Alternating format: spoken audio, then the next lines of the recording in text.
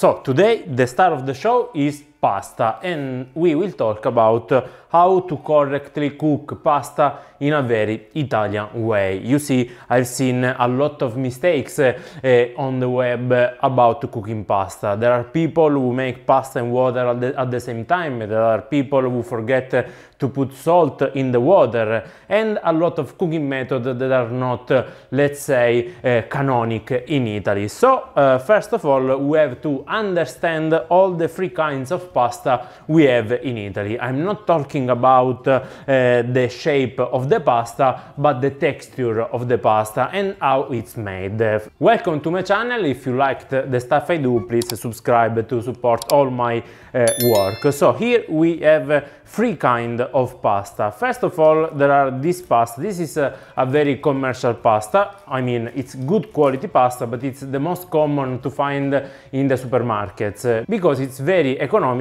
So you see, this kind of pasta has a very, very smooth uh, surface. And the most common way to cook it is to put in, in boiling water with salt and waiting for time cooking. That is always indicated in the package. So you can cook it al dente which means very uh, bitey, very crunchy when you bite it, uh, but you can also uh, a bit overcook it. I mean, in a lot of Italian families with old people, they tend to overcook pasta. the pasta al dente is a thing that only few families do and that you can find in Italian restaurants. But in reality, a lot of Italian people overdo pasta. So this is made from semola di grano uh, duro, which means hard wheat flour uh, pasta. But how the pasta is made at the origin? First of all, you make the dough. After that, you pass the dough uh, between these uh, accessory. So this is an economic one, and you see it's made from metal, but the pasta passes through plastic. So uh, with this, you make pasta like this one, very, very smooth. There are some uh, accessories like this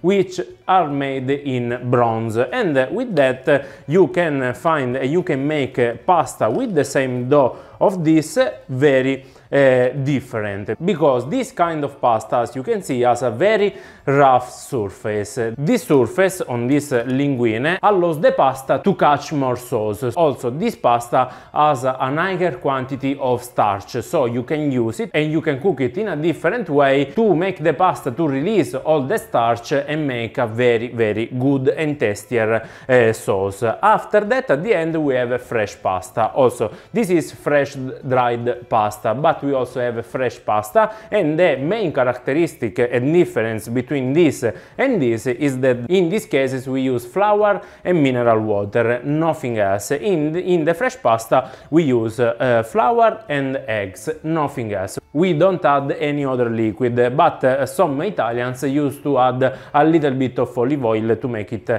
tastier. As you can see, this kind of pasta is very different from the normal dried pasta. It's more yellow because of the eggs and it is more thin. This kind of pasta also need a shorter time to cook and the main difference from fresh pasta and uh, dried pasta is that fresh pasta is almost impossible to make al dente because the eggs makes the texture very very soft. But now let's go to the kitchen and let's find out how to cook pasta in three manner that are very very Italian. So you take a lot of normal water, you put it into boil. First crucial passage is to add the salt. Salt is our star of the show. How much salt do you need to make a very tasty and good pasta? So the quantity of salt is 10 grams of salt every 1 liter of water and 100 grams of pasta. With that you cannot go wrong. I put salt the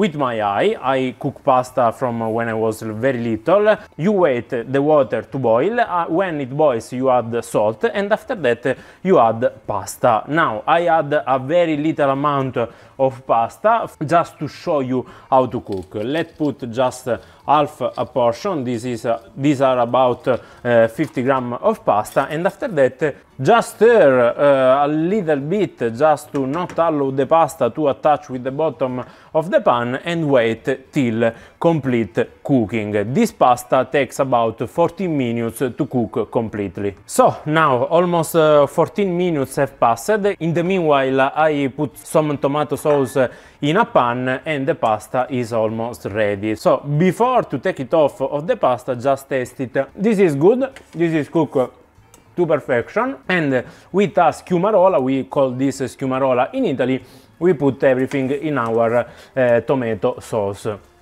This is called pasta asciutta because we cook the pasta before till complete cooking and after that we add our sauce. It could be tomato sauce or other um, sauce very very tasty. For example this type of pasta cooking is perfect uh, for pesto for uh, other sauces we, that don't need to mantecare the pasta. We add just a, a basil leaf we salt a little bit and our pasta is ready. As you can see, this is a typical uh, Italian uh, pasta, pasta with pomodoro.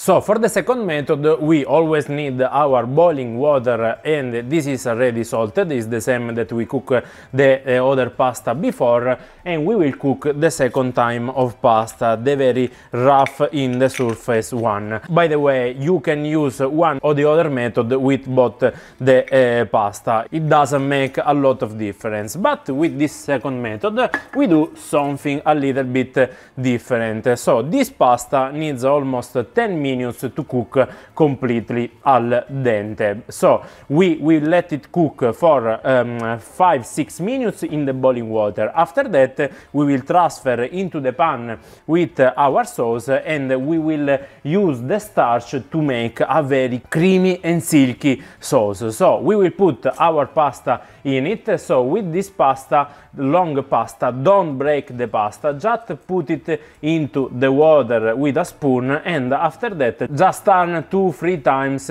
gently because you don't want to ruin or break the pasta. If they made long pasta there is a reason.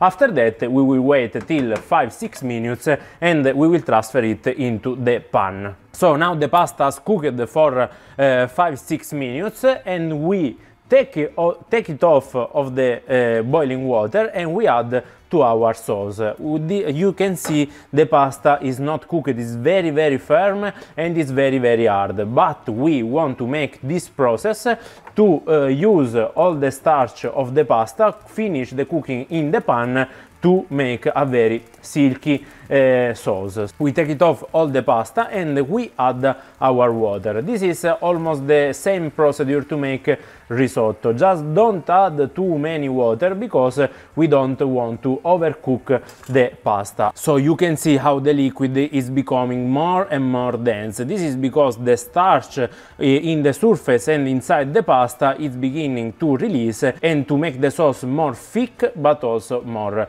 uh, silky. This procedure of cooking pasta is uh, often used to make uh, some very known recipe like for example carbonara that we will make in another videos. Let the pasta cook till the end You can see that sound, that is the sound of love. That means that the pasta is very well done and it will remain at al dente. That is the type of cooking that we want to make a creamier and tastier sauce. This really is the sound of love.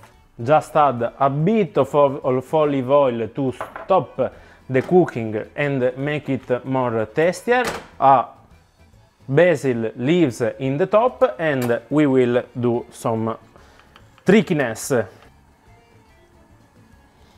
Let's take all this beautiful and dense cream.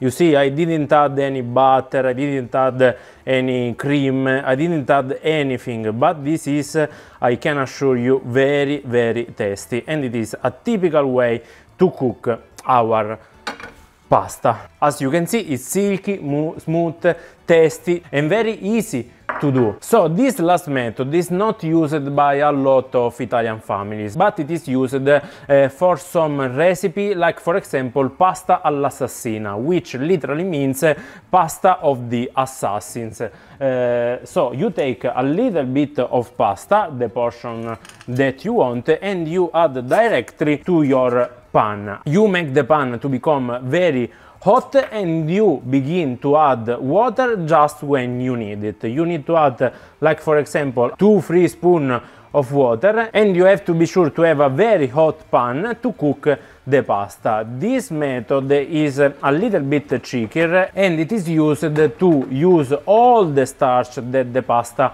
contains. So the cream will become very very intense and in uh, some ways it's not useful for a lot of uh, recipe. You see the pasta is beginning to cook. You see all these white bubbles, this is the starch that the pasta is releasing. So now the pasta is completely cooked so you can see all the starch and we will add just a little bit of butter. You will see that well butter will combine with the starch and it will make a really really good sauce.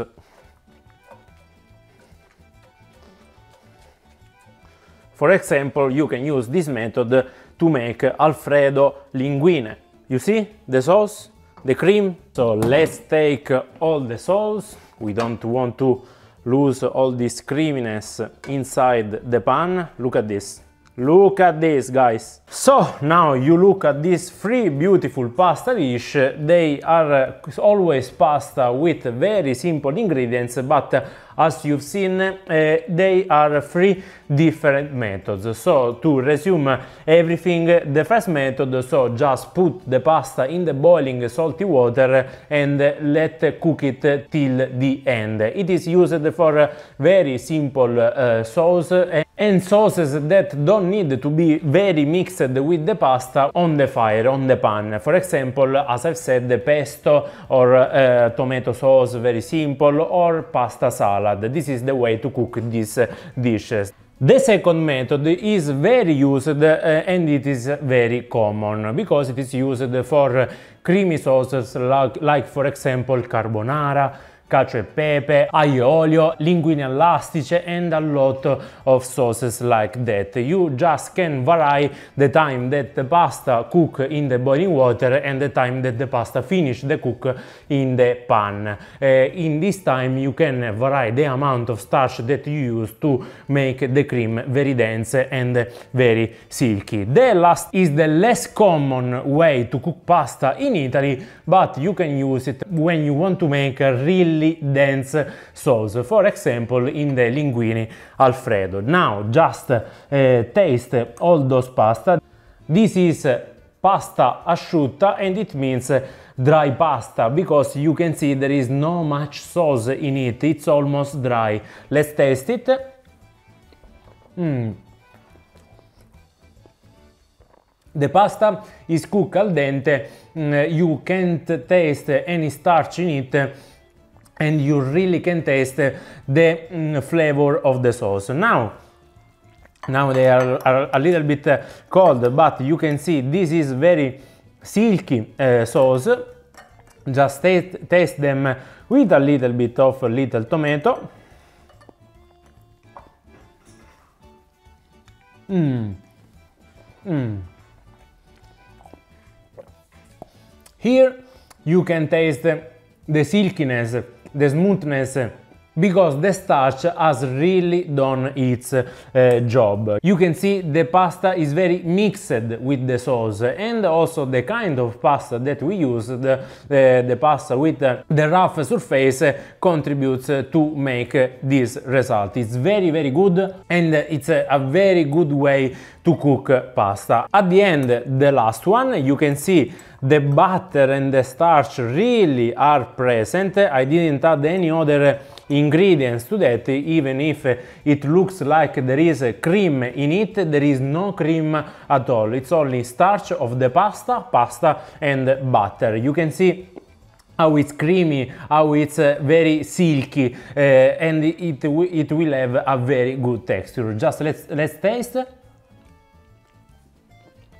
Mmm. Mmm. It's very, very good because here you can taste the salt.